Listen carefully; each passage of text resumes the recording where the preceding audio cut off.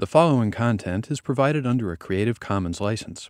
Your support will help MIT OpenCourseware continue to offer high quality educational resources for free. To make a donation or view additional materials from hundreds of MIT courses, visit MIT OpenCourseware at ocw.mit.edu.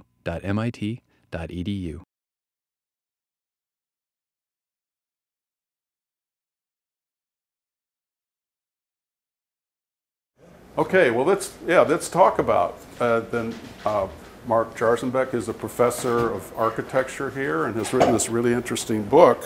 Um, so if you have any questions, uh, that, so something you don't understand or like me to clarify or elaborate, you know, just raise your hand and say so. I just sort of pick some images out. First, I'm sure you've seen, uh, you know, the Rogers building and uh, which doesn't exist anymore, as you know. I mean, this building still still exists. Um, I'm not sure what happened to the store. Did they go bankrupt and build it? But anyway, the building still exists. But this was uh, torn down. Um, but what I point out in my book is that, you know, if we look at this and we go, well, you know, it's uh, 1860s, and uh, you want to make a building for a uh, institute that you know does sciences. what do you do? I mean, what is it what should it look like? And so we may look at this and say, well, you know, it's sort of a building like sort of any other building. But, you know, it's sort of a bit of a problem because that type of a building didn't really exist. So the architect did something, you know, which was pretty clever, but also says something about the particular world view. Um, basically, the building is sort of modeled a little bit on the Apsley House and basically is a gentleman's residence. Right. So you want to make a building, you want to make scientists and technology guys, miners walking around in their big boots, and you know you want to tell them that they're basically not just doing technology, but basically they're gentlemen. So the students that are coming in here are meant to be raised at uh, a level of gentlemen in the 19th century uh, sense of that. Right? They're sort of cultural holders of a type of cultural thing. They're not just you know, wandering around, shuffling around with slide rules in their head, thinking about uh, uh, science, right? They have a certain status in society. so basically, this is a gentleman's residence that is then sort of designed on the inside to be a school. So this says something about the transition of science into legitimacy and the uh, type of pre-modern notion of science, where science was still associated with sort of a gentlemanly class and gentlemanly behavior. So that um, is, you know, you know, MIT's sort of first sort of claim, which is sort of very expected, perhaps you think of the mid 19th century worldview. Of course, what happens is is that MIT grows sort of uh, gangbusters and starts to spread out uh, in every uh, in every direction. So there you see the Rogers Building, um, and then there's a Walker building, which is built, which is a chemistry building, a beautiful building, one of the first buildings specifically designed for chemi chemical fumes and so forth. And then here and there and right and left and oh, you know, the, the campus expands around Copley Square um, into warehouses and into uh, sheds and other things. Uh, the Lowell um, laboratory gets built here. But as you can see, it's after a while, it's, it's something like 20 buildings, and one of the big problems uh, the face was that not only is the buildings, you know, all over uh, the, around Copley Square, which is difficult if you want to go from class to class in the middle of a snowstorm, uh, but also science was becoming uh, changing too. So the professors were complaining they needed dust-free environments to do certain things. They needed um, laboratories that won't shake every time uh, the beer truck rumbles by, right? So if you're in the middle of a city, and 19th century cities were unbelievably stinky, fumy places filled with black soot from chimneys. Um, I mean, we, we, today see these cities as, you know, clean air law has sort of done a lot to our cities, but you got to imagine into winter uh, the heavy, you know, odor and, and cloud of soot making everything sort of black. And so if you're doing experiments that require special atmospheres and this and that, so the buildings, uh, there's professors were complaining about being in the city. They wanted to be away from the city, away from the noise and the pollution and the sounds and all that type of stuff. So this was sort of one of the problems that you know the, the faculty sort of faced, and one of the reasons that spurred along the uh, desire to sort of uh, sort of to move. you know. so then the question was, well, what, you know, what do you do? Um, so, you know, you need a bigger building. So the model for this was actually in Europe, uh, mainly in Germany and in, um, and, in, um, and in Switzerland. So the ETH was created, you see almost at the same time, uh, designed a little bit earlier, gigantic building, right? So here, I mean, it, I mean, this makes MIT look like, uh, I mean, literally, you know, uh, like a joke compared to what the Swiss investment in technology was, you know, at that time. Huge building, massive amount of laboratories, huge library. I mean, this was an institution of gigantic scale, right?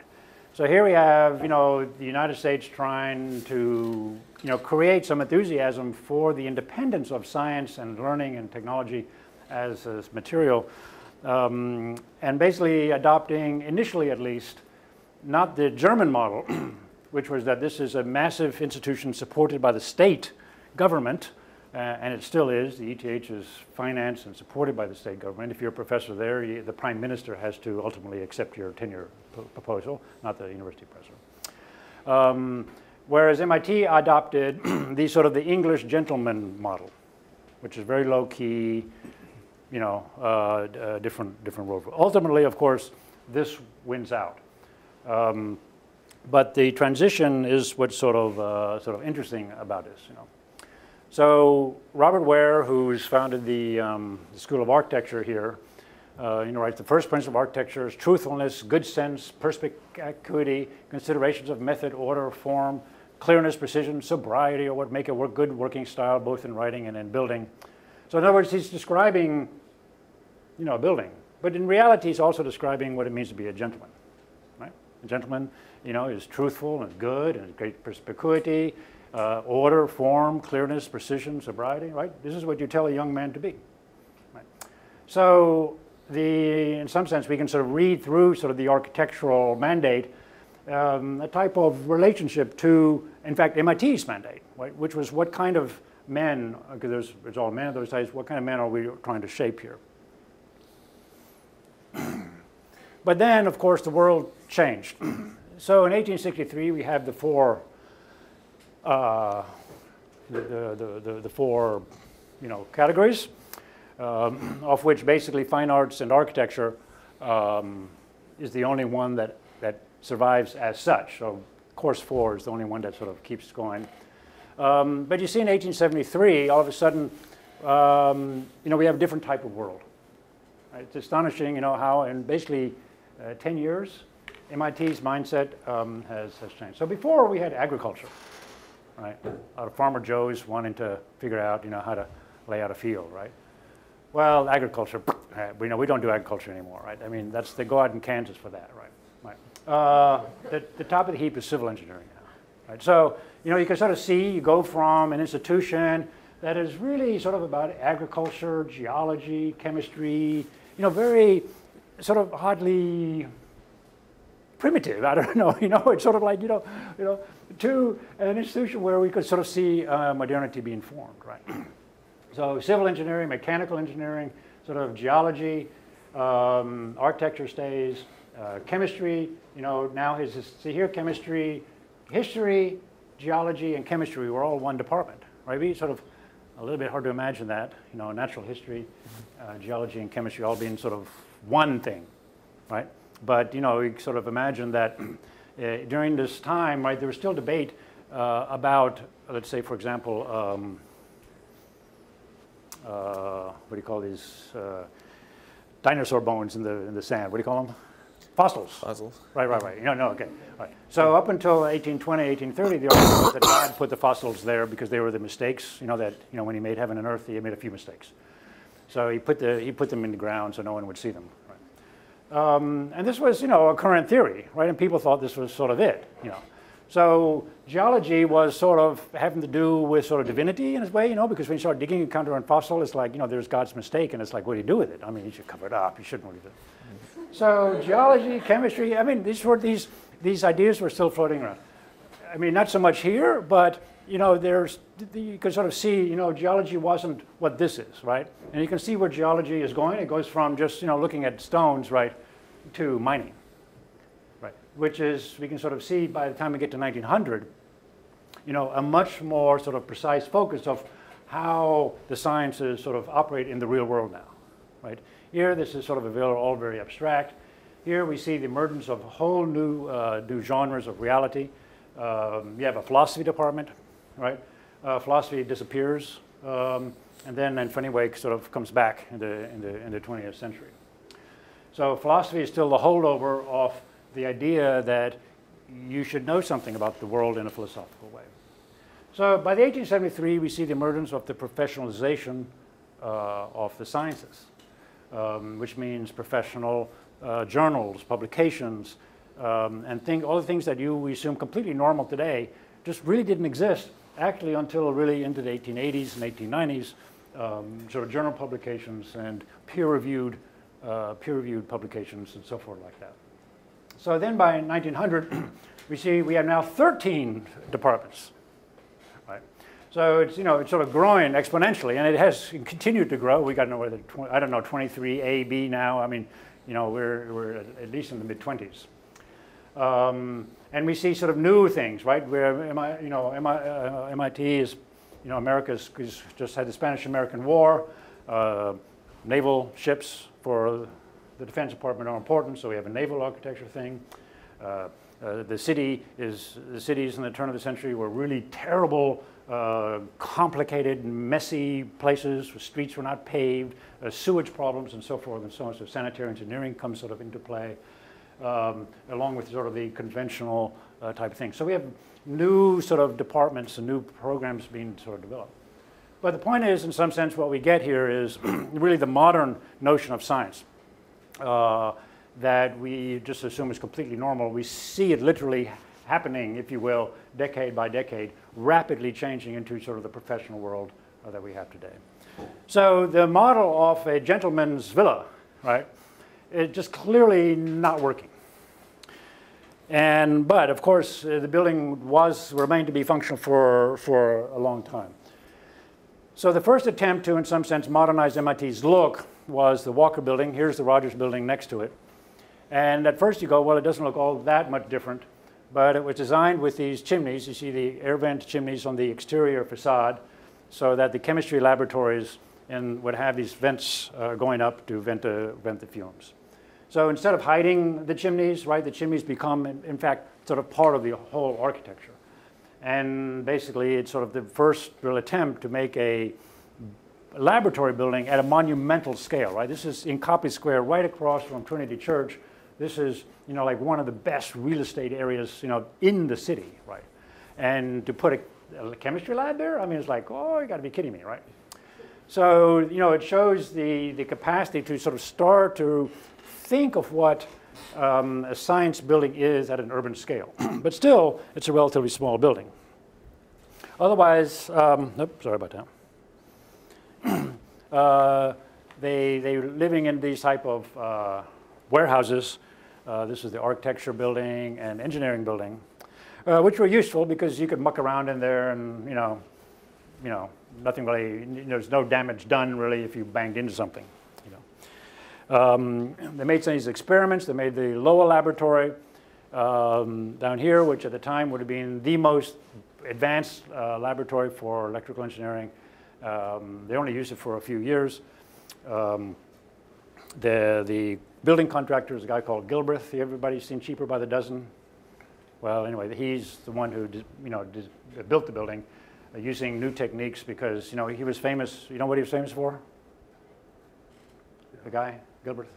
Well, well he, he, was interested in making uh, labor less expensive. So the way you do that is you study how, let's say, you take a bricklayer, and the bricklayer's got to go get a brick, and then he's got to bring the brick down, and then he's got to put a brick in, then he's hungry, and he uh, puts a chewing gum in his mouth, and he slathers something in it, right? Well, well, he figured out that takes a lot of time, right? So you have uh, the dolly, and the dolly will bring the brick. One guy gives the brick, the other guy puts it down, the other guy slathers it. So your, your job is just to take the brick and put it down, take the brick, put it down, take the brick, put it down, take the brick. And the next guy's job is go ka-chunk, ka-chunk, ka-chunk, ka-chunk, ka-chunk, ka-chunk, ka-chunk. Right? And you can build buildings a lot faster if you do this sort of time-saving thing.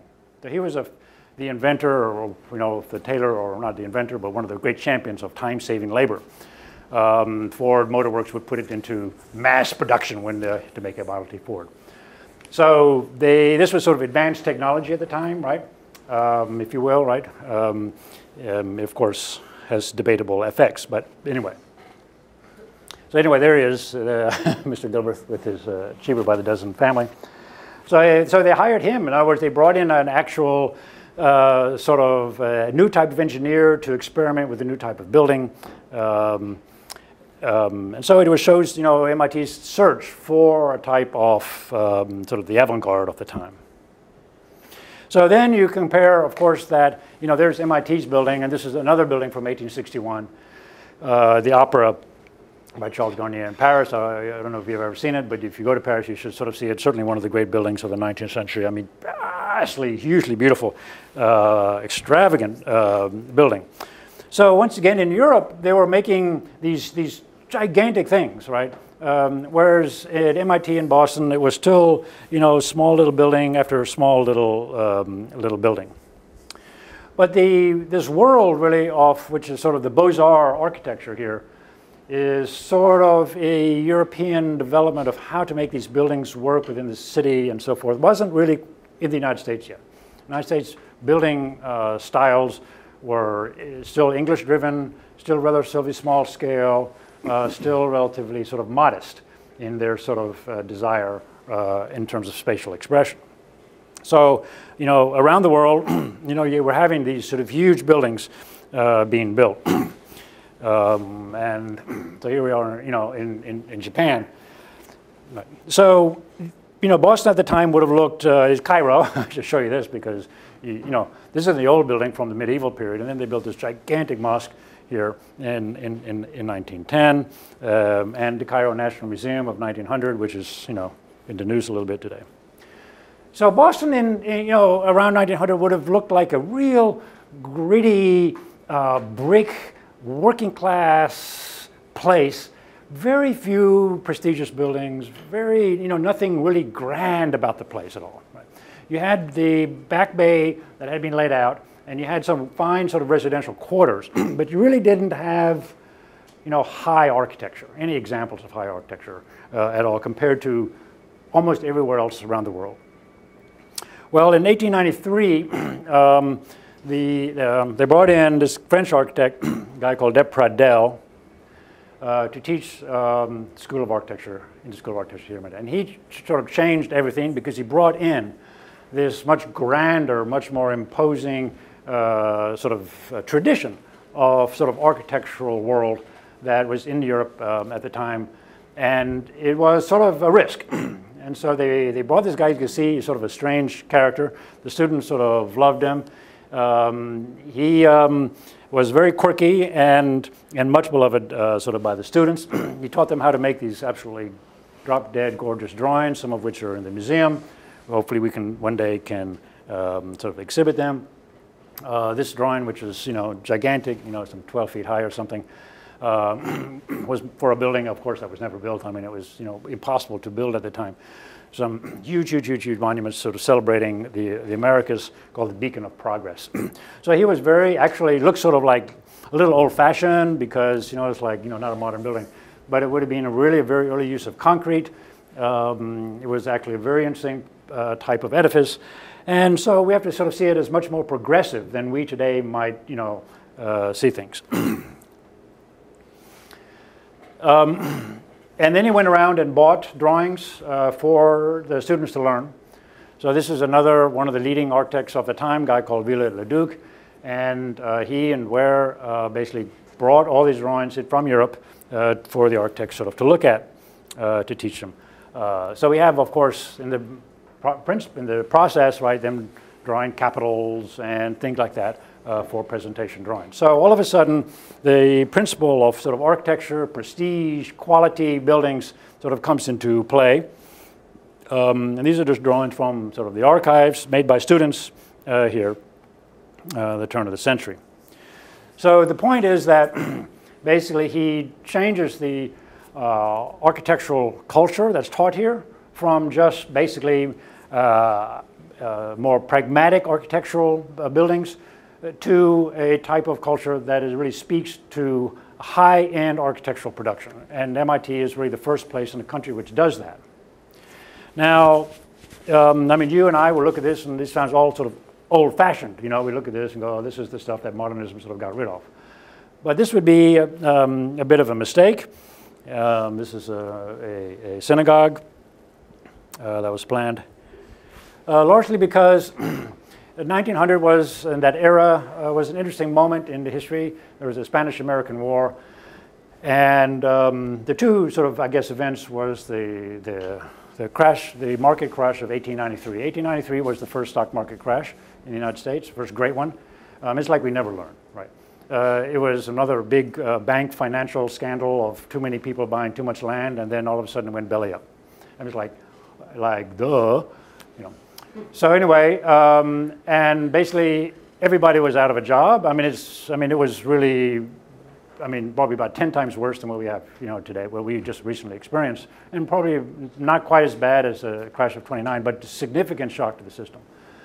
And after that, uh, the United States uh, warehouses were filled with stuff that no one could buy.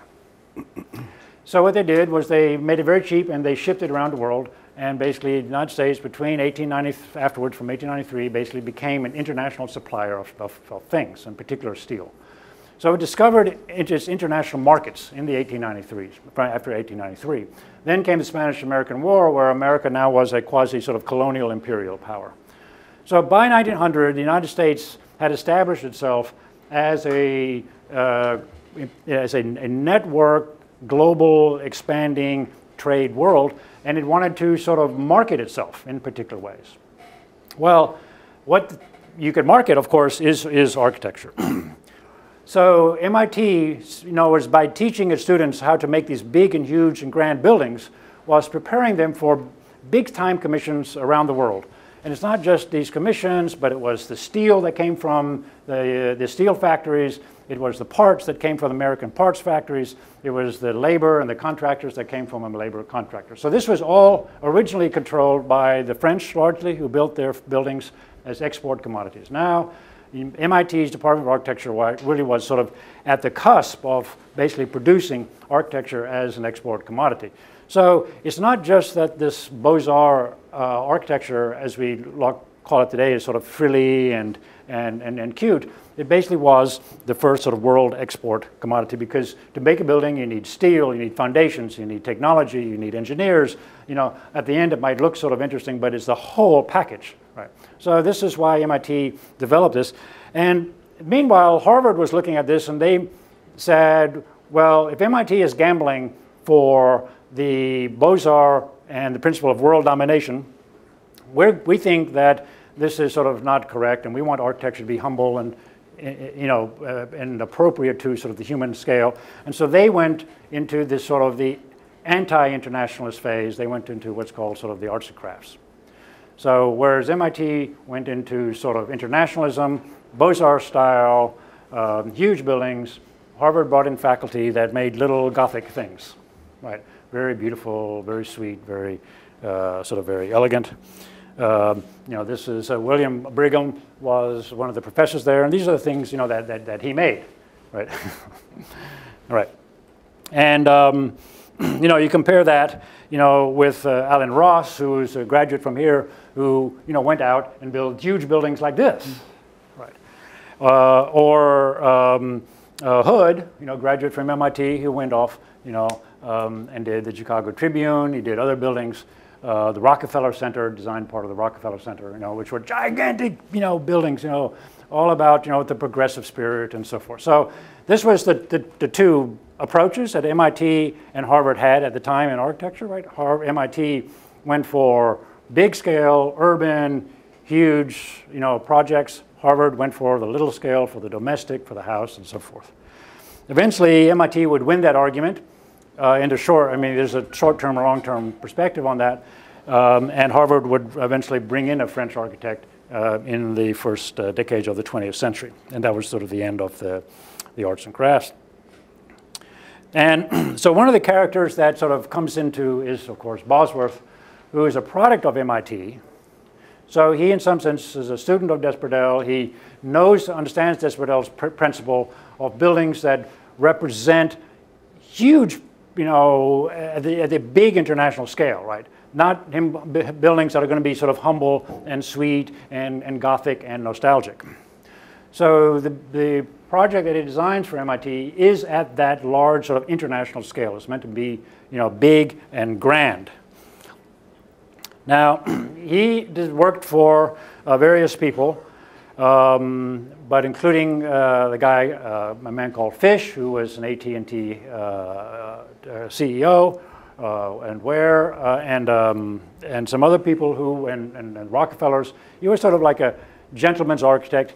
He didn't have a big practice, he had a small practice, but basically these super rich people uh, would bring him in to design buildings. So this is one of the buildings he designed in New York. It's literally right next to the World Trade, no longer the World Trade Center, uh, the towers, uh, which you don't see anymore, which would be sort of right there. So if any of you know uh, New York, uh, the Wall Street area, uh, you would hopefully know this building. Really a gorgeous building, strictly neoclassical, it has a Doric on the inside, Ionic on the outside, but it's a steel building. Basically, it's a modern steel building wrapped in this sort of uh, casing. And the casing is meant to show the stability of AT&T, the, the magnificence of it as well, right? So these buildings, uh, which we may look as sort of a little bit old-fashioned, were at that time, you know, all about sort of the, the bravura of these new corporations that were emerging. So in particular, sort of AT&T Is that the West Street building? yeah. Yeah. That's, that's where Bell Labs is founded in that building. Bell Labs is founded Yeah, in that that's building. right. Bell Labs is founded here. Uh, So when MIT then was making the move, um, you know, they didn't talk to Bosworth initially. It was it came a little bit later. Um, you know, there's this huge institution. They're having these problems, and they're going, well, we need to find somebody. So to, to, to, to make design. So they hired this guy called uh, Childs. Uh, Childs was an expert at, in sanitation engineering. He made the sewer lines for, for Brookline. Right, so, I mean, okay, he's an okay architect, but I mean, the guy makes sewer lines for crying out loud. You know. um, so he made a project, and at first, you know, it looks okay. He's got a thing, he's got an esplanade, it's got his funny towers and so forth like that. But, you know, it's, uh, fortunately, they realized uh, it's really bad. I mean, it really, really, really, really, really bad. Uh, so his idea was that X marks the spot. I mean, literally. And that this line, if you look at it, points to the State House because the State House is where the money comes from. Right? So you want an avenue that when I can look down, I can see the State House and say, thank you very much, State House, even though State House was giving them practically nothing and they were practically bankrupt. So I don't know where these lines would be pointing to, but you know, they're just off into the distance somewhere. Right? And then you see it's not really symmetrical. One has got longer, and then you see there's a track, and you see here one building bumps on the track. It, it, it's really sort of weird, weird building, right? So not a good architect, and uh, obviously somebody complained about it. Well, the guy who complained about it was this man called Freeman, uh, who was a civil engineer who would later go off and design the canals for Panama Canal. So this was a really top civil engineer and you know, compared to, if you will, some local hokey bonky, you know, architect that they found, you know, uh, in some sort of neighboring, you know, village. So Freeman comes onto play and says, we got to get rid of all these architects. They don't know what they're talking about. And convinces the president, Maclaurin, uh, to fund him to do some research on what MIT needs to do. So he travels around the world. He goes to Mexico, goes to the United States, goes to Canada, he goes to Germany and France and Italy. And he collects his uh, portfolio of plans and photographs and then produces this report that I publish at the end in, in my book. And he falls in love with the German model of buildings like the ones that I had showed you. And he said that, you know, the Germans and the Swiss had come up already, you know, uh, 50 years earlier with the notion of a giant building, right? Not one building, you know, uh, in sort of the landscape, you know, in the gentlemanly fashion, but huge mega structures. Um, that you know, where if you go to Berlin and you go to the Technical University in Berlin or these universities in Zurich, and so he puts the map of them uh, uh, together. And he says, "This is what MIT should do. I mean, this is what we need. We need a mega structure, not just a little old building somewhere." And then to make his point, he makes a design, you know, which he says, "Okay, this is what a bad architect would do, right? We'll have the architecture department, we have the chemistry department, we have the physics department, we've got electrical department, we've got some labs." We'll just scatter them around, whatever, willy-nilly, right, and call that a campus, right? And so he makes this sort of fake plan, if you will, uh, to show, you know, this is how we would do it if we wanted to be a little bit like Harvard, and we might have a quad in there and so forth. He hated architects. He thought architects were uh, uh, pompous airheads. Uh, we called them beauty makers. and basically, the world is, uh, should be designed by civil engineers. And this was sort of an interesting moment, you know, where MIT Civil Engineering Department is sort of asserting itself in the architectural world against the Beaux-Arts. So he doesn't like the Beaux-Arts at all. He thinks Beaux-Arts, he doesn't understand really because basically by the 1910s and so forth, right, what is being exported or is precisely dams and bridges and uh, canals and so forth, not buildings. So this is where huge investments of, of you know, exportation of MIT's world uh, position in the world has to do with civil engineering, and architecture is sort of now a little bit sort of on, uh, on a smaller scale. So his plan for MIT uh, is, looks actually quite, you know, like what MIT looks like. Basically, it's a concrete building, concrete because it won't burn.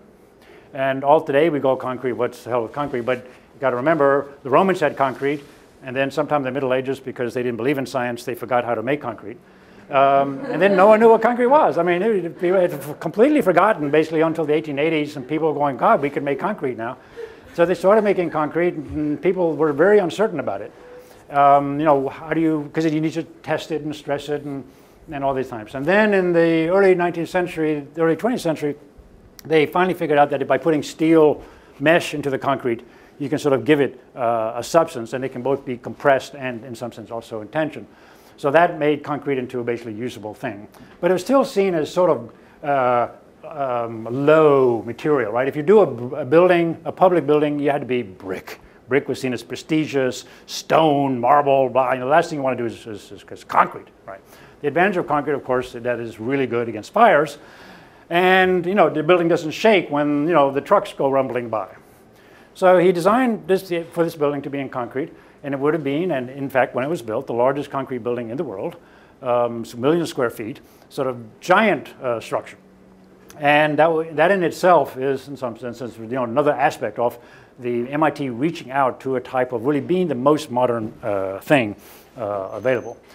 So this is another building that he designed. It's a shoe factory, and you can sort of see, you know, it has the same sort of principle concrete structure with these columns going down the middle that become the corridor, right? Um, and then all you have to do is make slabs and then um, uh, the circulation system, right?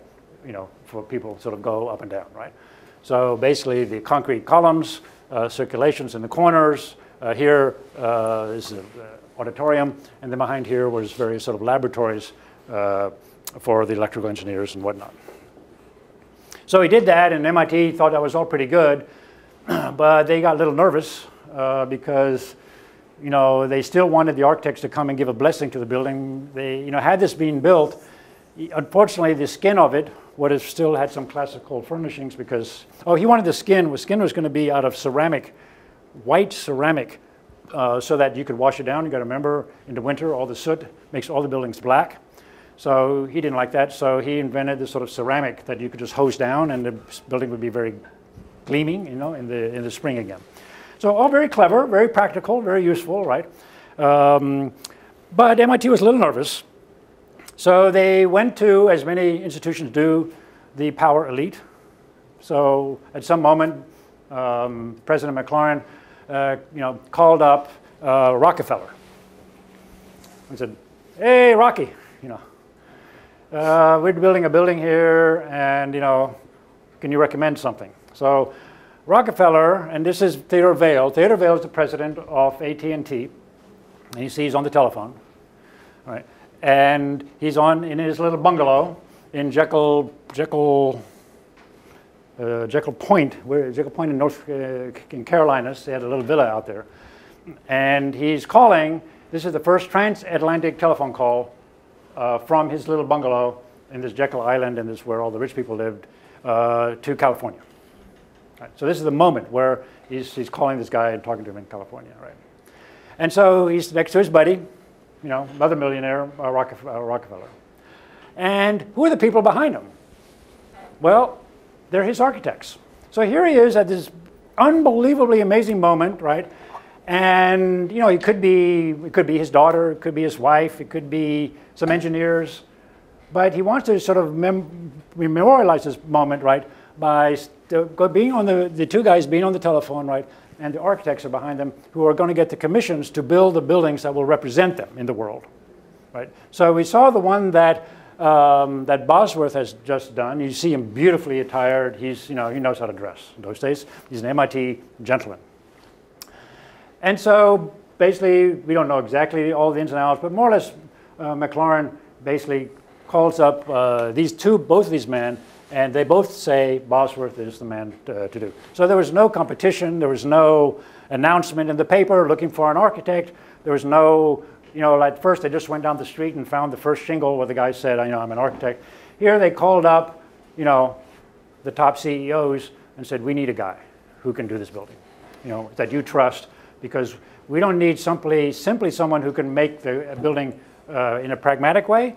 We need someone who can give us the representational capacity that architects can bring. So they pointed to Bosworth. Now Bosworth used uh, Freeman's plans basically built Freeman's building. Here it is, you can see. And had this been built, more or less like it was, and glass put in, it would have been the first, the largest, and the most important modern building in the history of ever. Right? So 1913, um, it was just when modernism was starting to be discussed, you know, in Europe as well, right? but the Europeans would eventually figure out, let's just put in glass, you know. Let's get rid of all the skin, right? Americans were a little bit more reluctant to do that, and so that's why the modernism began in, in Europe. But this is basically a modern building and would have been on the, in every history book, you know, had they just sort of stopped there. Right? but, you know, they didn't, and they put the skin on it. But you can get a sense of basically this sort of radical, modern, clean, functional aesthetic that comes from Freeman in some of the buildings and some of the rooms that are in the corner. This is an old room now. It's got a sunk ceiling. I mean, we do all this stuff to it, and you know, uh, you, you, you, get a very cushy, different world today.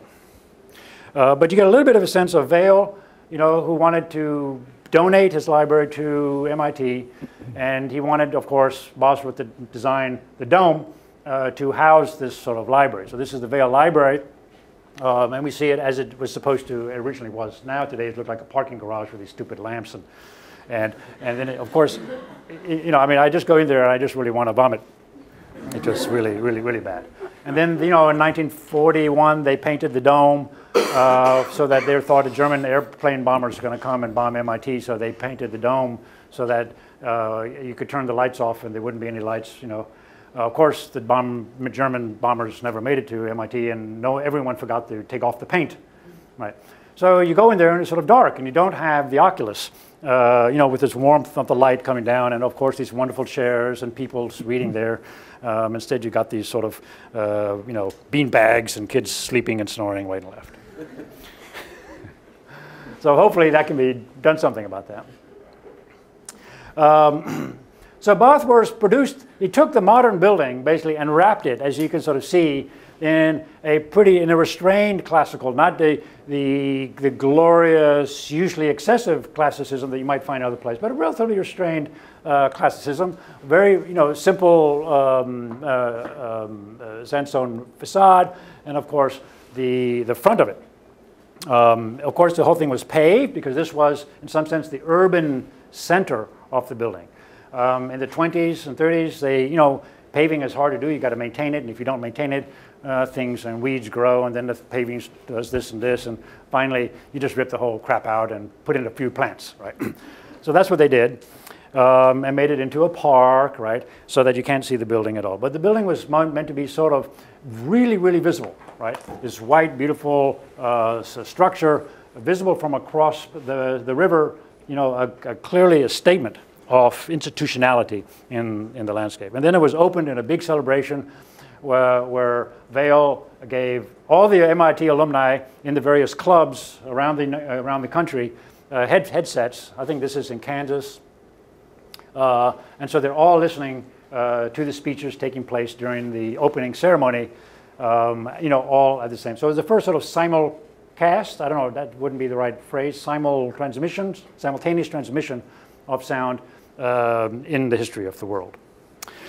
And to make sure that people understood there was a relationship between ATT um, um, and, and, its donor, Vail, um, and MIT. So this is the, the front of the ATT headquarters, and here you can see the doors of them. Um, and here you see the doors of MIT, which are basically the same doors. So when you walk into the doors, you're basically walking into the doors that say, thank you, Mr. Vail you know, for your, for your gift. I mean, it's a bad photograph, just take my word for it. It's the same doors. uh, it, it, says so even on the construction drawings, right, you know, copy the, the, the, the, the drawings from the AT&T headquarters. So, so MIT's relationship with AT&T, with electrical engineering, with sort of this progressive corporate world is sort of cemented in the building, right? So the building, we could say, looks like classical, but in reality, what it's doing is giving MIT what it really wanted, which was a type of relationship to the corporate America. Corporate America, as we assume has been around you know, for 8,000 years, really hasn't. It really starts to emerge, these giant corporations, exactly at this moment. So at that level, this building does what was happening at corporate America too, right? These large, impressive institutional buildings in the landscape that are referring to the classical past as a way to sort of stabilize their idea that we're here forever, right? Even though we're only a few years old, don't worry, like the Doric columns, we'll be around for a long time. You know, um, good luck. So, of course, this, uh, this building refers partially uh, to the dome of the Pantheon in Rome. I hope some of you have, have, have seen that. Um, so we have the dome, and then we have these sort of uh, columns in front. There are eight columns in front of uh, the, the, real Pantheon, uh, whereas there are 10 columns sort of here. And of course, the dome is much, much, much, much, much higher because the dome of, in the Pantheon is very low, and actually you don't see it at all, right? You can sort of see it if you're way up high, and you can sort of photograph it. But from the street level, you don't see the dome uh, at all. So it's not a, an imitation, but clearly, obviously, he's saying that the, the dome of the Pantheon, the dome of the Pantheon is one of the great buildings clearly the Pantheon then uh, translated into the idea of learning and sort of the Enlightenment project of the unification of the sciences. So that's sort of uh, part of it. The other part, of course, is that if you look at the uh, dome of the Pantheon, you'll notice these capitals here are what's called Corinthian, um, which is a, sort of a typical type of capital that was developed in Rome uh, that does not match up with here, which is capitals that are called Ionic, which are actually Greek and a lot, uh, a lot older. So he's sort of playing with these languages to sort of craft a type of uh, MIT uh, message. So the model that he's taken is a temple of Athena in Priene. Priene is a, was a Greek town in uh, Turkey, in western Turkey. Um, and so he's using the, uh, the capitals, which I show here, uh, from that temple. Right? So he wants Athena to be in there because Athena is about learning. And this, for among classicists, this temple is supposed to be seen as the most perfect temple that had ever been built. Um, and if you do architectural history, you know, you would sort of uh, know that. so, you know, he takes uh, the capital of Priene here and basically copies it. So when you walk in building seven up on the third floor, you see these gigantic capitals. Well, you know, why spend, you know, $2,500 and go to Turkey and, you know, you know, and look at it? Well, you can look at it right there. I mean, there's the same thing. But as you can see, the bottoms are different. The bottoms are different.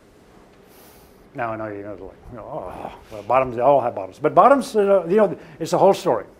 So he's not taking, he's taking the top but not the bottom. So where do the bottoms come from?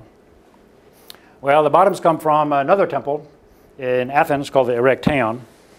So here you see MIT's bases, um, and compared to the Erechtheion, they're pretty much a perfect match. The Erechtheion, anybody seen that in Acropolis? Athens, guys travel? Got to travel. It's a bit of a ruin now. You don't really sort of get what it, it, it seems. But it's seen as uh, one of the most sophisticated of buildings um, that the Greeks had ever produced. Very sort of complicated building, not a not a classic temple with you know a front and a side, but actually a very very sort of complicated temple, showing that the Greeks could actually produce temples with porches and fronts and backs and this and that. Um, and so it's a different you know type of complexity. So it's a building that shows complexity, and you can sort of see these MIT bases, right? So he takes the bases uh, from one temple, right, to show uh, sort of a type of ma architectural mastery of complexity. He takes the capitals from another temple to show Athena and knowledge and sort of purity of design. He takes the Roman idea of the great vault, right, which holds knowledge and the sciences together, and basically makes that into a type of the message, the corporate message uh, of MIT uh, that gets sort of put into its, its, its front. So today, of course, you know, we look at buildings and we don't see them as messages. We just see them as, you know, wow, I like that or I don't like that, right? But these buildings, with their, with, this is the great advantage of what the classical world brought while it was still being used, was that you take the pieces and you can construct like arguments out of them, right? Uh, depending on how and what you're referring to. So this was, in some sense, a message, and this was why they brought in Bosworth to, in some sense, do um, uh, Freeman's project, but basically give it the proper message that it needed to have. And so what you get is really the best of both worlds, I think, is this positioning of MIT in the corporate world, as the corporate progressive world was understood at that time, right, in the emerging world, but also have at its, in its core of the inside this sort of fantastic sort of concrete uh, slab building, which was also progressive in its own right, but it's not celebrated in any particular way. It's just sort of there, right? Um, and of course, that interior of the building got repeatedly sort of nibbled on and transformed and resealings and new windows and doors. Uh, so it's very hard to, to, to, to see that. The best places are the staircases. which if you just think 1913, these sort of really amazingly clear functional concrete staircases that, you know, you, you are so uh, simple, you'd hardly think that that's anything, you know, to, to be proud of, right? but, you know, if you're thinking of what could have happened, right, which would have been um, a building in, in uh, freestanding buildings in a quad, like in the Harvard model, um, you know, it would have been a very different sort of story. So that's sort of, um, I think, the, um, yeah, that's sort of the end of my little spiel here um, about the old building, um, at least up until it was sort of built, you know. So, good. Questions, thoughts? Yeah. A little off topic, but do you think like the reason why we call Athena Athena has anything to do with the architecture, like the computer system? Yeah, I don't know. it could be just coincidence. Uh, it could be just coincidence. Interesting. Um, at, at one moment, uh, Boston was seen was trying to define itself as the Athens on the Charles. So the Ionic columns that are on our building, um, if you go to the the library, I mean to the um, uh, museum, the Fine Arts Museum, has Ionic columns. Uh, almost many of the buildings designed first by MIT and then from during the 20s and 30s will have Ionic on them. Because MIT, because Boston was sort of trying to nickname itself as like, you know, the Athens of learning and, and you know, civilization, you know, uh, uh on the Charles. So that maybe, maybe leaked out. Yeah. Um, was the infinite corridor like planned to be like the long like, hallway that Absolutely, that's right. Yeah, it was the the corridor was um, the corridors were complicated spaces. As we, I mean, they, we see them today as pretty generic, but in those days, um, corridors were actually very special places used. Um, actually novel types of spaces. Part of they were rejected because they didn't have good ventilation. So you needed to have very, very tall, because there's no air conditioning and there's no um, heating. So they would be sort of very cold, and then in summer, if you put bathrooms there, the fumes would collect and they'd be sort of stinky maybe, right? So during the 19th century, you're going to find few buildings actually designing with corridors. But they started emerging in the late 19th century in state houses, parliament buildings as sort of representational places. Sort of the, you know, when we say someone is lobbying, right? Because the corridor was next to these lobbies in the parliament building. So the idea that you could sort of have these corridors where people would hang out, places where people would hang out, was seen as sort of a positive thing. But that's one of the reasons these, these spaces in, in the building panel are so huge is because the idea was the ventilation, you don't have artificial ventilation. So all, the whole building had to be circulated through these windows and through the corridors. Um, but yeah, it was designed with these corridors in mind. The, initially, the idea was that the offices would have walls out of very thin wood, and he called them curtain walls, um, which is different from the, the, technical term today in architecture, but they're literally like curtains. So that if the physics professor wanted more space, he could expand or something like that.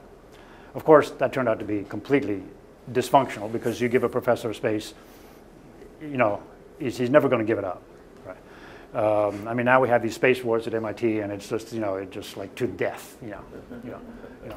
We've been trying to move move one wall between two offices now for 10 years, you know, in the Department of Architecture, and it's just not not going to happen. You know.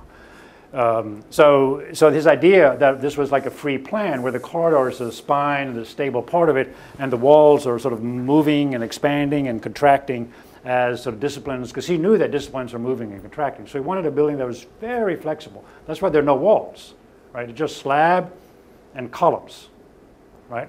And then the walls are all infill, you know. Um, unfortunately, the walls became permanent, as all walls do. So even, even that would have been, you know, the idea of a, a building with no walls is just unbelievably modern. I was wondering about the V's in Massachusetts oh, on yeah. the building. Why V's and not uh, That's because the Romans didn't have U's, right? So they're copying the Roman script. And so you didn't have, Romans didn't have U, so everything was V. So they just have, it's stuck Uh, do you know anything about the design or the rationale behind the huge tunnel system that we have between all the buildings? It seems to be like a unique feature of the campus. Yeah, that I don't know. Maybe you guys might have a little bit more of a clue on that. Um, I think it would have came out just almost accidentally, is what I understand. But I think so, and then I think it more recently it's been explicit that there's mm -hmm. been connections between the new buildings, but. Um, that's a good paper topic for someone. Yeah, that is a good topic. There, there, aren't uh, that many more like basement systems rather than just the regular systems anyways. I mean, there's a couple extra hallways in the basement, but like in general, the buildings are connected above ground just as much as they are underneath. Well, I'm thinking of especially the connection between like building 66 and all the way across the Kendall Square. Yeah. That seemed to be pretty like deliberate to want to do mm. that. In any case, I heard I heard it was like the second longest tunnel system compared to the Pentagon or something like that. That might have been just. oh, it is. But yeah, it's pretty pretty big. Yeah. Interesting. The whole building is designed on fill because, as you know from your reading, this was all swamp, um, and fill is you know not a good place to design a build, building on, right? Because you know it basically wants to be a swamp again. So the engineering of the building basically you have to design a gigantic, basically like bathtub slab right? And the building sort of sits in this sort of, you know, like a, like a huge footprint, right? Sort of sits down and you're, and so in other words, if you just put a point in and point in, it'll start leaning and tilting, right? So you build a big platform and then you can put your building on it. Um, so this, the engineering of this actually was hugely complicated, done by a guy called Stone, um, engineering firm Stone, which was one of the largest engineering firms in the, in the world at the time. I was also a uh, graduate. Um, Freeman was so upset when they hired Bosworth to take his plan and basically botch it, uh, that he took his entire research and burned it. And so all we have left in the archives are these really bad uh, photographs, that's some, some snapshot that someone took of some of these sheets that are left. And they, they haven't given a cent to MIT, you know, ever, right? I mean, still today, if you talk about the, to the Freeman Legge guys, they go, we're not coming. We're not coming to meet you guys. Um, because he felt that he had really sort of studied this thing exhaustively and was going to give MIT the best building that they could possibly imagine. And was upset that MIT then basically went for Bosworth. And, you know, it's a conflict, and as I write about in my book, between two different types of modernities. Right? I mean, Freeman was the type of modern person, right? He wanted concrete, he wanted engineering, he wants building to, to be proud of itself as a civil engineering uh, expression. And he understood that this was the moment of history where, a, where an institution could do that. And so he's sort of right. But there was another type of modern mo movement sort of being developed, which was the modern corporation. And MIT was sort of like trying to figure out which one do we want, right? And ultimately, they sort of opted for going with the idea that the modern corporation is what a institution like this is, as opposed to a public institution, right? So, you know, it was shifting from a public institution, uh, which had to be humble and, you know, small, to a private institution, right, like it is now, right, with one pretty much fell swoop when the guy, you know, when Eastman gave you the 10 million bucks, right, boom, it's a private institution, right. So private institutions also operate on very different sort of representational models, right. So, you know, being in the world, having an argument about your position in the world was sort of key to that. And for that, only architects at the time knew how to do that, right. I don't know if they still know how to do it, but that was the point. Uh, was there a time prior to the Freeman-Bosworth divide that architects and engineers considered themselves one and the same? Or was, did that never exist? Yes, probably in the 1880s. I think architecture and engineering were a lot closer. Then uh, engineering professionalized itself much earlier than architecture. Engineering was already professionalized practically in the 1880s. Um, whereas architecture started to professionalize, professionalize itself around 1900, and even then many architects were going, we don't, we don't want to be professional, we're artists. So really it was only in the 1940s really that architecture as a professional practice really sort of takes root really with the, with the Second World War. So being a professional practice gave engineers really a powerful legs to stand on because they understood deliverables, they understood, you know, how buildings operate and, you know, function in the, in the real world, whereas architects could give you the, the appearance, right, but not, not know anything about how to build it. Mm. And that split begins to emerge around sort of 1900 between architecture as a design project and engineering. Um, so, you know, whereas when civil engineering and architecture start two different fields, right, that's when they sort of you know, have this antagonism. Hmm. But because engineers were so incredibly competent, they could build buildings, right, you know, in their sleep. Um, I mean, sort of dumb buildings, right? So they, they thought that's how you should be building. So the engineers had, you know, something to argue for themselves. They knew how to make buildings. They knew how to make them safe. They don't burn. They don't do this. So that's all you need to do, right? Um, so that antagonism basically heats up around 1900. And this is sort of an example of that. You know. Where does, where does William Ware stand in this? Was he an engineer slash architect, or was he? Yeah, he was sort of the gentleman architect tradition idea, right? So he's the one who founds the Department of Architecture, right, along this sort of gentleman model, right? And yes, uh, engineering is important, but engineering still was something that didn't really wasn't too much of a problem because if you make these types of buildings, you make your walls, you put in some big beams, uh, you know, it's there's no, not a big question, right? But if you make MIT out of concrete and a million square feet, and how do you pour it? How do you, you know, on swampy soil? This is an engineering problem. Mm. I mean, you know, of mega proportions, right? Uh, and this is not for an architect, you know. So architecture in the mid 20th century was at a scale that engineering wasn't a real problem because most of it was just pretty easy to do. But as soon as you make big buildings like this, Different you know, story engineer has to be really front and center. Yeah, interesting. Um, isn't the divide between architecture and engineering still a big problem at MIT? Because you look at buildings like the Stata Center and it's and they both have, they're like both very artistic, but have a lot of like structural problems. So isn't that still a pretty modern problem? Well, um, my, my, my, uncle, who's an architect lawyer, he you know, he's, he protects, he goes to law firm. I mean, he's a law firm who, architects come to him to, you know, get him out of lawsuits. Um, so he always says, you know, there's no, there's no such thing as a building that doesn't leak, uh, rule one, and there's no such thing as a good building that doesn't have a lawsuit. And so someone's always suing something because no one knows. I mean, my windows in my building 10, they leak. You know, um, I mean, and they're, they're rusted shut. I mean, the upper one, I just like, you can't even move it. I mean, now just, you know. So that's maybe a question of maintenance rather than design. um, but I'm a little bit more sympathetic to Gehry. You know, I think some of the lawsuit anxiety is sort of misplaced a bit because most buildings uh, of that scale are going to have mistakes and problems. And anyway, almost every Gehry project gets sued. He got sued, you know, he has, you know, for every building, he's got a lawsuit. So when MIT hired him, they should have known that. It, it's sort of like, I mean, they, don't they read the newspapers, you know?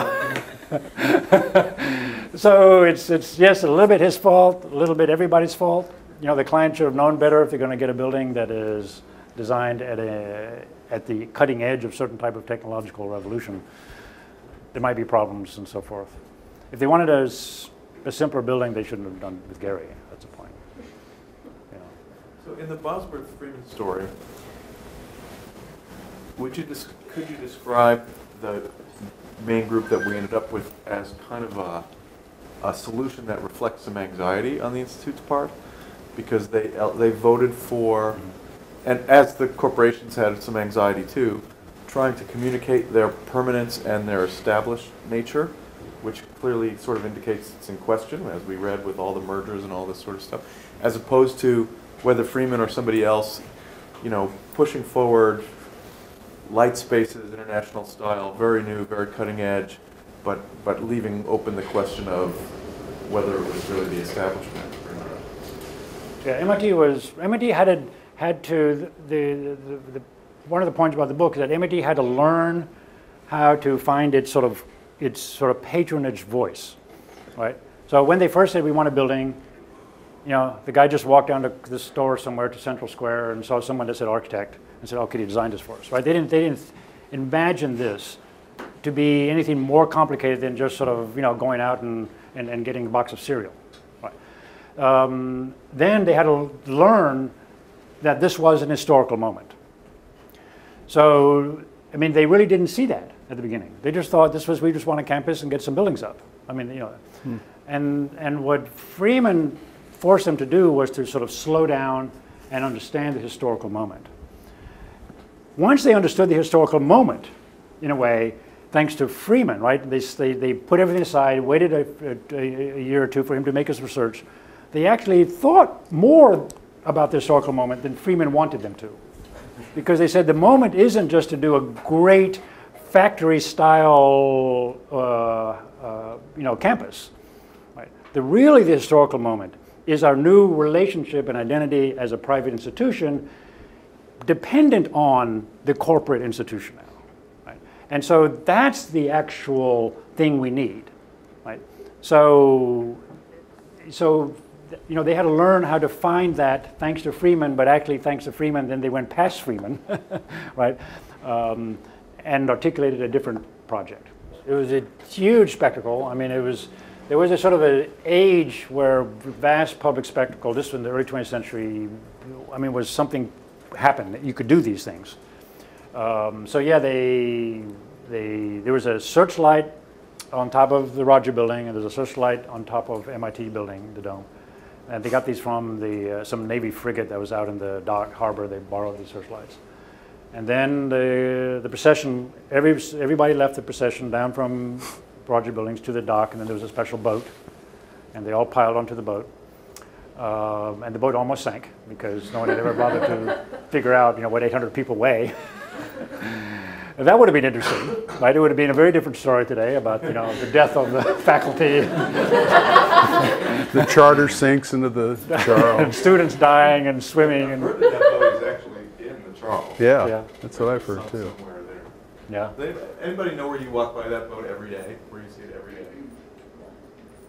It's a huge picture of it right at the end of the corridor right here on this wall. I just yeah. walked by this morning. And, uh, it's almost the last one, and there's this whole little uh, uh, collage about that set of events. So then they got on the boat, they, they went on to the, the dock. MIT was supposed to have a dock, which was never actually built. Um, and then they all got out, and then every student was participating in, uh, one way or other, in an opera that was custom designed uh, called what was the name? Was I can't remember uh, the, the the the the Gray World or something like that, which featured the history of the world with MIT at the culminating piece of that.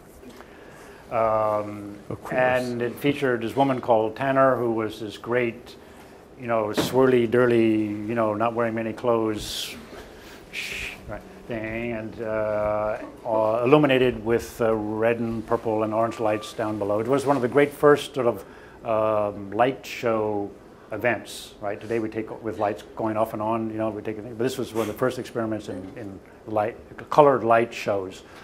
Um, and Tanner did her swirly dance. And then the big opera came, and the music came, and Rockefeller gave a speech, and everybody gave speeches, and da da da da. and uh, Cram, who's the head of the, the, the department, was the master of ceremonies, and then he opened the door. Um, and then the the two um, oh no I'm sorry. The, the two the two searchlights were touching like this, and then when you opened the door the searchlights went like that, and the MIT Roger Williams searchlight was cut off, and you only had MIT searchlight on, and so that was the great heroic moment. I mean you can imagine that. It was just spectacular. But it was all at night, so there's only one photograph that someone drew in to sort of show a little bit what it was like, but we you know, you couldn't photograph any of that stuff. The Roger building was used until it was only torn down in the 20s, or even even later, right? In the thir- thir- 30. The actual, I uh, mean, the main group was built in one big swoop that was that time, but then there were various other pieces filled in until the end of the 20s, right? It wasn't really complete around, until around 1930. That's right. When the last of all what we now know is. So if you, you look at them, they look a little different, I believe. That's right. Yeah, that's right. I mean, I.M. Pei, who studied here. Architecture stayed over. on- Yeah, see, architecture was over there. So I.M. Pei, who studied here, when he was here in the, in the 40s, he was in the Roger building still. Right, he was like the last last student, you know, to to to use that building. Yeah, it was still they, they rented it, the um, the various floors at that time. Um, um, then you know, sadly, it was torn down. That's interesting. Well, there's sort of a playfulness about it. I mean, which Got fitting. You know, which I think one has to love. I mean, MIT, Yeah. you know, had this incredible. Um, I mean, you read also the the skits that were being performed. MIT had this sort of tradition of, of, of skits and theater skits. Um, and in the yearbook, you know, you see, you know, they, they, these guys will be dressed up as God knows what, right? And they make some skit, you know, imitating some professors or doing what like that.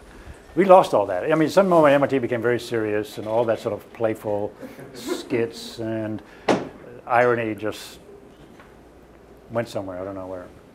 It went to the students. Yeah. Isn't that what you're saying in your I feel- paper? I feel like it's still around. Yeah, yeah. Maybe, maybe Yeah. on just like the undergraduate level, Mhm.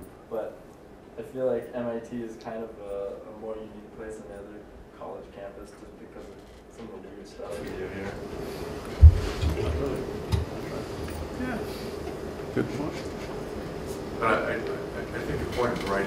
The spectacle of that occasion is notable. It was a sort of moment in time when, who knows what, there was enough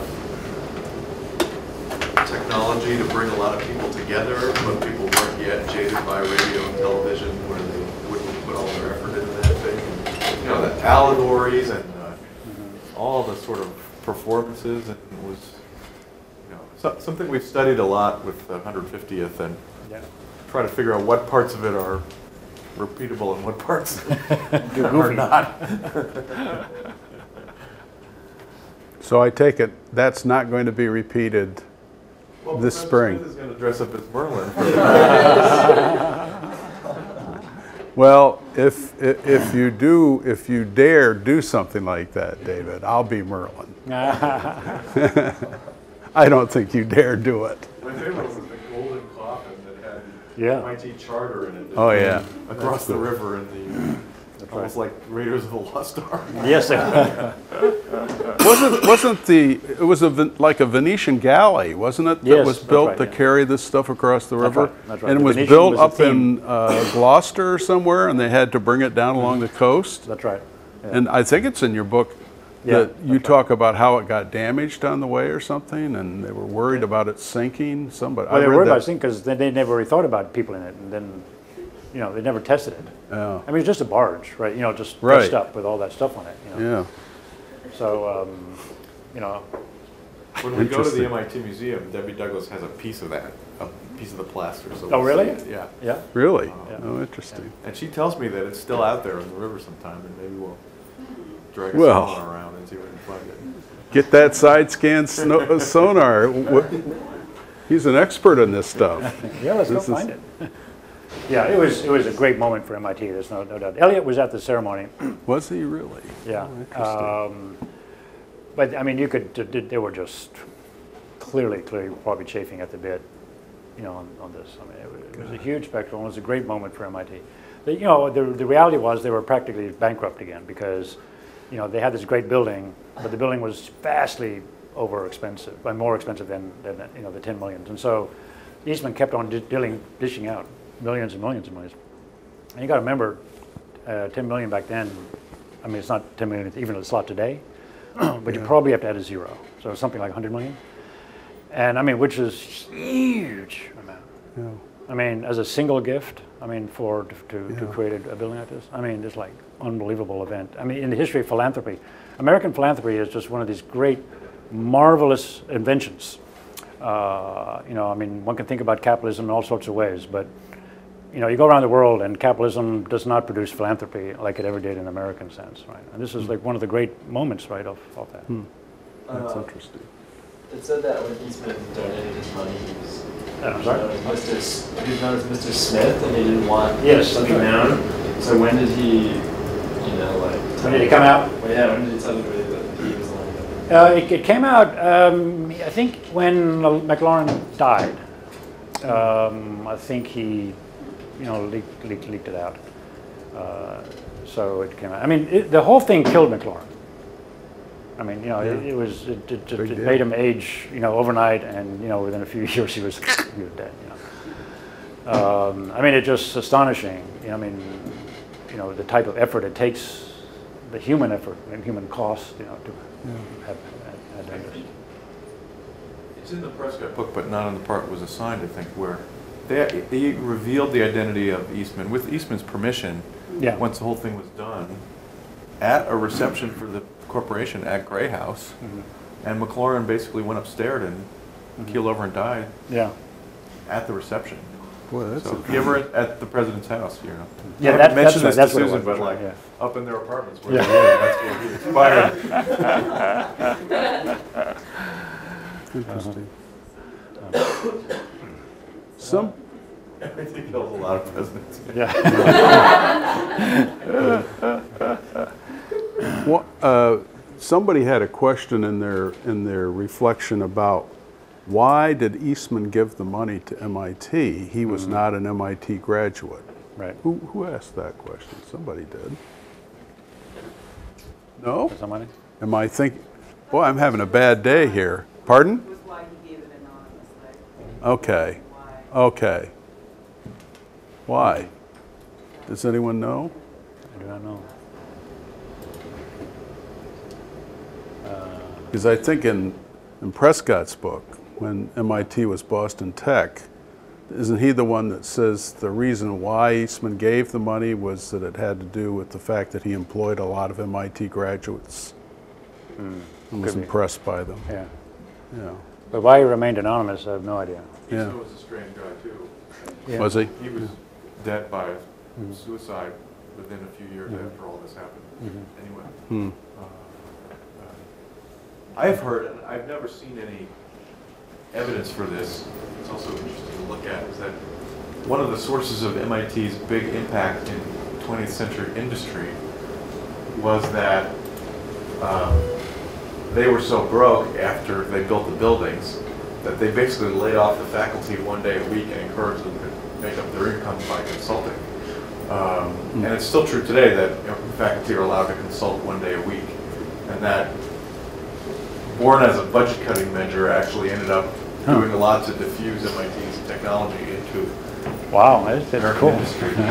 Um, and I, but I've only heard that as a story. I've never actually seen any documents about that. Well, it- I, I know it- that in the School of Engineering, not in School of Humanities and Social Sciences, as, as recently as 1980, uh, assistant professors were required to raise, I think it was 50% of their salary through outside grants. And associate professors had to raise a certain percentage, and even full professors, though it was a small percentage at that point. And that ended uh, basically when they started to go, well, convert over to a more more endowed professorships, things like that. It was during a fundraising venture in the what 1990s, perhaps. You know, so that's lasted. Mark, do you think MIT's relationship to its architecture has stayed the same, or how has it changed since 1960? A lot Well, said in the last As years. we point out, MIT, you know, spent so much money on the main building that basically the rest of the campus, apart from the president's house, the dormitory basically part of it, uh, just didn't really get built. So that, I mean, for better or worse, I don't know. Uh, But the dormitory section was going to be between, you know, behind Walker, that whole area. And then eventually they built the- those two dorms back there.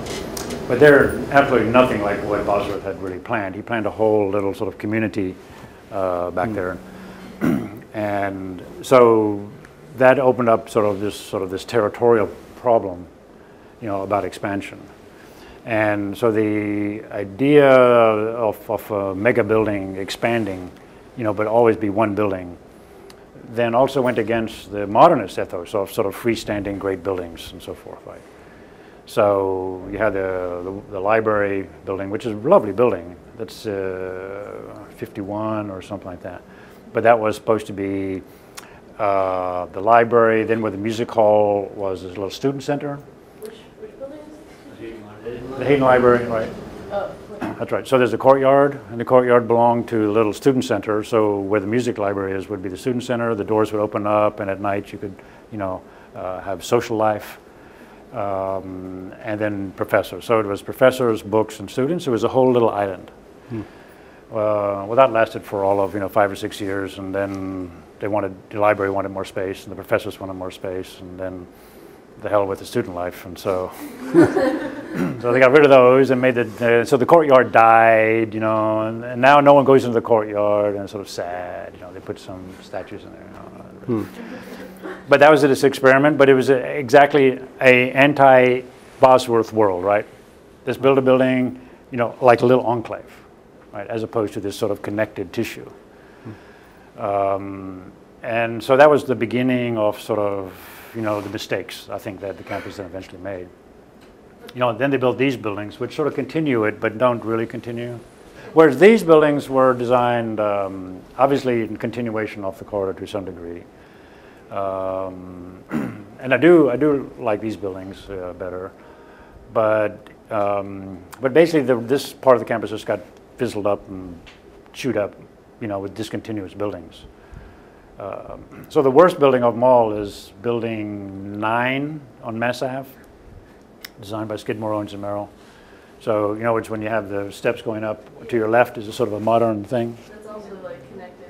and it's completely disconnected. No, it- We- It's connected, but not on the third floor, and the fourth floor, you've got to go down some Yeah. steps. Oh, yeah. Right, because they wanted to put five floors in the space of three floors? It didn't used to be that way. Well, it that used to be- happened with the library. It used to be connected. That's right, that's right. So the idea of these giant floors and ceilings, right, was a big problem for these modern buildings because by this time we had ventilation. We don't need to have, you know, 12 foot, 20 foot floors, you know. Uh, you want eight foot, nine foot, and then, you know, you're done with it, right? So you can pack much more floor space than you could in these older buildings.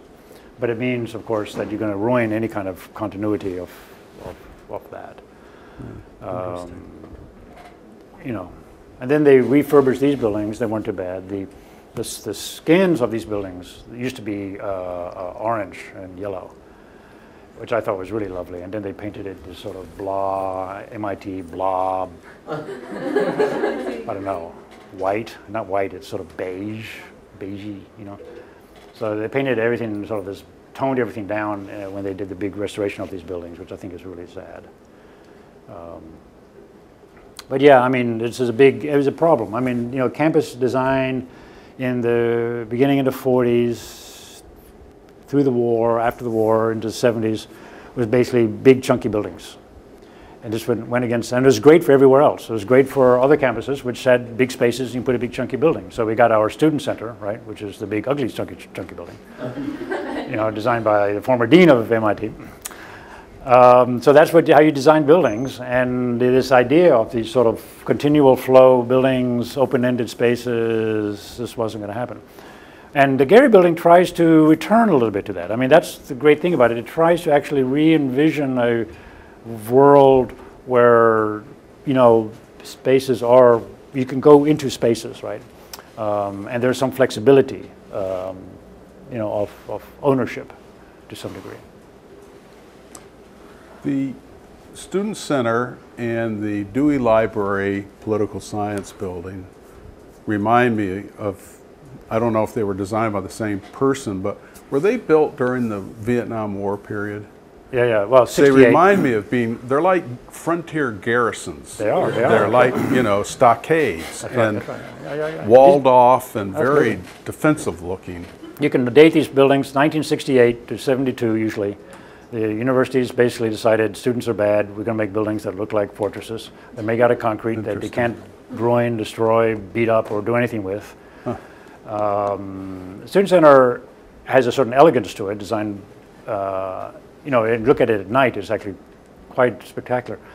But basically, it's a, it is a fortress. I mean, literally. I mean, it's got the shooting like ga- arrows up there, you know, student Yeah, revolt. I mean, you know, I mean, it's, it's Yeah. like, what kind of a message does that send? I mean, that Yeah. is like not good. Not good. But every university in America has one.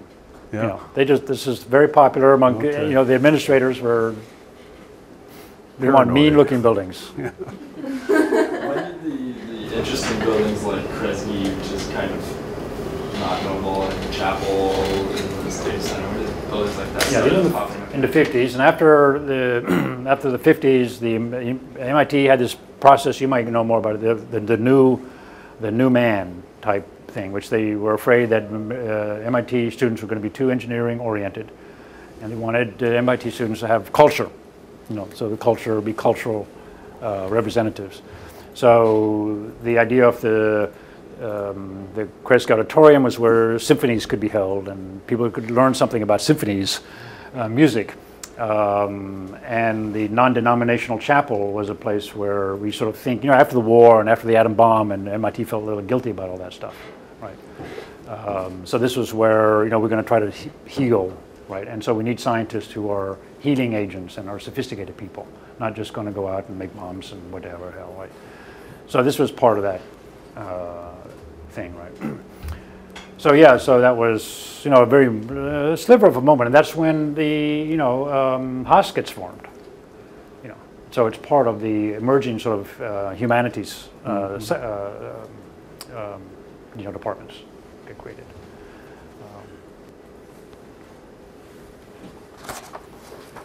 I loved what you said in your lecture about when you were describing the, the emergence of different schools, 1873, 1900. You, you said, I don't know if you purposely said it, but you said it. And uh, you said, Here we see modernity being formed. I thought that is a very interesting comment. Yeah, to see these departments changing and shifting is really, uh, that's a very interesting comment. I jotted down. Another good student project would be to make a family tree of the MIT departments over time. And people have done these trees with Yeah. other kinds of knowledge systems and try to show how each department either morphed or got substituted over time coming down. Because we've talked a lot about, or a little bit about the, the order. It's actually something I found online. Oh, Um, yeah? The San Diego Club of MIT Hmm. has a list of all the um, departments, course numbers corresponding with the dates through history. How did you find it? You just Googled it or? Uh, I can send it to you. Yeah, great. Yeah, the point is, in other words, to understand that all these shifts reflect things that are happening in the outside world. Yeah. So, in what way does this map, which what this is, right, give us the topography of the world, right? We, we don't see what's happening in the outside world, right?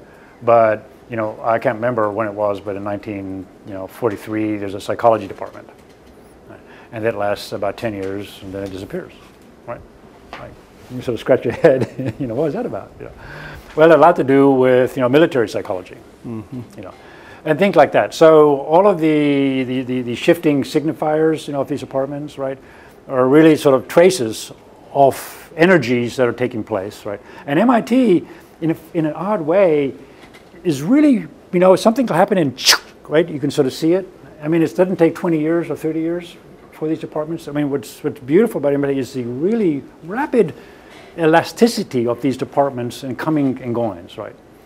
So that's so in the, in the 1880s, you know, when it was the great evolution, if you will, of the idea of a professional class, right, happened very rapidly in the 1880s, right? The emergence of a professional class, politically, in so many so many ways, right? You just sort of see that, at, you know, in the MIT departmental structure, you know, um, you know, from a gentlemanly class to professional class, and it just happens, you know, right there, you know, right? and so all of these changes are are mapping these forces, right? And it's a great way. It will be a, certainly a, a, great thesis, you know, to Yeah. to use that as Yeah. a indicator. It would be, definitely. Oh, when did people start referring to the courses by their number here? So like, um, was it confusing for a while when they were making all these changes, or did no one say like, oh, I'm course four? Yeah. Or no one used that terminology? I don't know. Good question. Debbie Douglas, when she comes, we should ask her, because I uh-huh. know she has a particular way of thinking about that. Uh, There are lots of suppositions, I guess, and I don't know that anyone has the answer, but she has some pretty interesting things to say about how the numbering system came Anecdote about. that, which is- Anybody here of the Engineering Systems Division? Big thing on campus today, and I, I've been very involved with them, and, and ten years ago, when it was just forming, we used to have these off-campus retreats a couple times a year to talk about sort of what this department or, or division was gonna be, and it was sort of a lot of hand-wringing, but there were people in the room from, you know, six or eight different schools of engineering, and the management school, and humanities, and and all kinds of different places, and they were all talking together. And at the time, MIT had a big uh, relationship with Cambridge University in the UK. We still have a little bit of that, the Cambridge MIT Institute, and there were a couple of guests there one year from Cambridge. And we spent a whole day sort of with this kind of conversation and a little bit anxious about what's it going to be, how's it going to define itself, where all these people. And at the end of the day, the people from Cambridge raised their hand and they said, I just have to tell you, as worried as you all are about how you're going to make this thing work, from where we come from, it looks just totally amazing. Because at Cambridge, a department gets formed, and then for 600 years, Yeah. nobody talks to anybody else in any of the other departments. And you can't even get people in the same room together to talk about this issue. And here there are people from 10 different departments talking about this. And that was just one of those moments that sort of puts into relief what's so That's right. fluid about this place. That's right. Yeah. Yeah. Would- I mean, civil engineering is now subsumed, right? It, what, what happened to civil engineering? It's one, it's still one? Yeah, I think it is.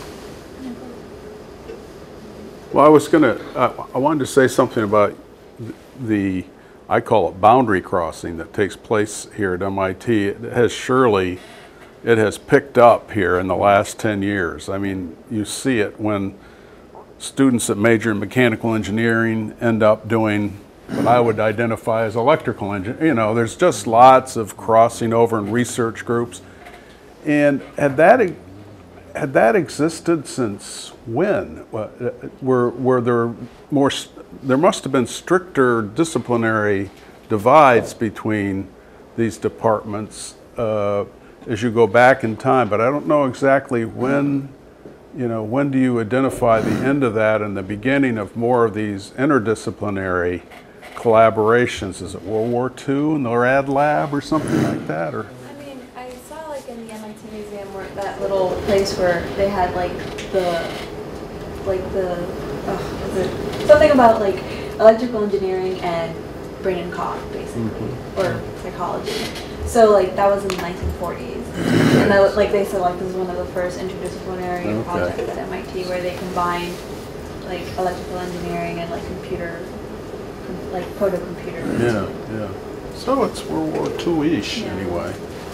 I I think it also relates to, like you saw from Mark's chart, I mean, if you're talking about English and history and law and theology, you really do have these 600-year traditions. But to begin with in the sciences and then certainly in engineering, I mean, you know, Right. there's no field of engineering that's older than 200 years. and most of them are less than 100 years old. So they're, you know, anytime you're in that game, and the same is true to some degree of the sciences, and things are professionalizing over the course of the boundaries are not particularly hard. I mean, electrical engineering is this funny combination of physics and, and other kinds of engineering, and that comes out in the 1880s. And computer science, I mean, that's also a strange hybrid of psychology and mathematics and electrical engineering. And, um, you know, so at any given point, the disciplines that we have in a technical school are only ever going to be 40 or 50 years old in a certain way. And, Yeah. But uh, it seems to have really increased in the last 15 years or so, around here anyway. I just, there's a lot going Well, on. I think when Roz Williams comes in, she'll talk about the Yeah, sort of anxieties about, are the engineering disciplines worth anything at all anymore? Yeah, right. Um, I have, actually think they are, but that's another Yeah, conversation. interesting. Um, Well, engineering is sort of, I don't know, in the, strikes me as from the architect, you know, it's going downhill in the United States, going uphill in Europe. I don't know why there's a, needs to be a big difference. But I, but the crossover issue, I think at MIT is, I mean, when I leave my office, I pass a colleague's office, I pass a skin lab, I don't know what hell goes on in there. I pass uh, that's where they, someone told me they invented artificial skin. Um, and then I pass the lab, I built a room with a lot of nitrogen tanks sticking out in the hall. I don't know what the hell is in there. Then I pass uh, part of a library building, part of a library. Then I pass a, s- this, uh, student center. Uh, you know, I mean, if I go, you know, from my office to the dean's office, you know, down the hall, you know, I'm walking past three or four departments who own bits and pieces of this landscape. Yeah. And it's very irritating, you know, because to us, you know, in the dean's office, because we're going, God, I mean, why we I have to walk over there. But on the other hand, it's very MIT, Yeah. right? This sort of odd, you know, gerrymandering of space that we have, as frustrating it is, is actually, you know, interesting. You know, it's sort of unique, right? Um, yeah, you know, you can go to the MIT, to Harvard, to the architecture school, and they're only f- whole building filled with architects, right? You know, I'm not going to see people making skin lab or see a big hydrogen tanks, you know, sitting out in the hallway with Yeah. smoke coming out of them, you know. Um, you know, it's just, and I think that is a part of MIT culture and uh, should be maintained. Yeah, I agree. Makes it interesting. Okay, on that note, I think we can All righty, guys? Yeah, thank you very much.